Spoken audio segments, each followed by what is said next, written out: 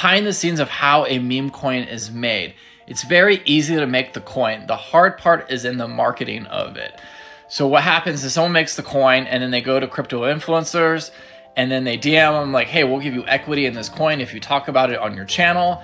And then they start getting it into the social medias and then boom, they pump it all these discords, TikTok, and then it goes viral. And then, you know, everyone dumps their bags at a certain point and these coins become worthless. So here's a DM, you know, from this AI like meme coin. They're like, hey, we'll give you equity, pump this.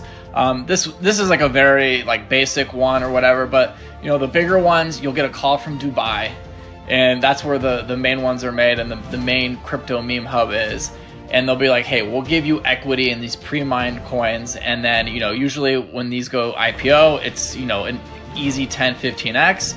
And then what, you know, the influencers do is they'll dump immediately some of their coins so they make their money and then they'll hold on and see if that coin actually works.